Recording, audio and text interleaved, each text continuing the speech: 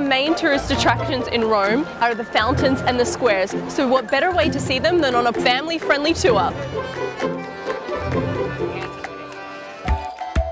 So this tour is really educational and kid-friendly. Get them engaged and keep them occupied while we're walking through the streets.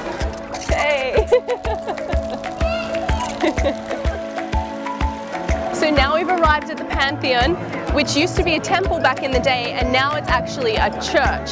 And there's a lot of tombs inside of famous Italian people like the painter Raphael and Queen Margaret, who Margherita Pizza was actually named after.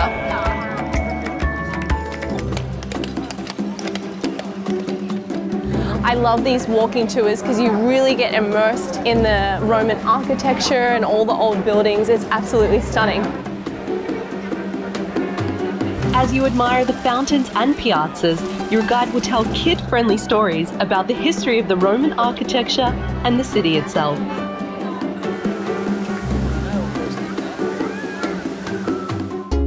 We're in the Piazza Navona and behind me is a fountain that's sculpted by Bernini. It has four different statues surrounding it which represent four different rivers. One in Africa, in Germany, India and Brazil.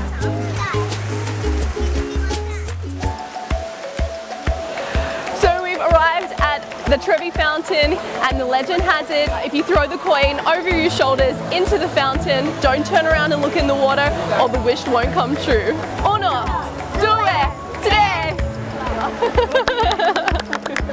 this small group tour of the fountains and squares in Rome was so informative and engaging for the children. They had so much fun and so did I.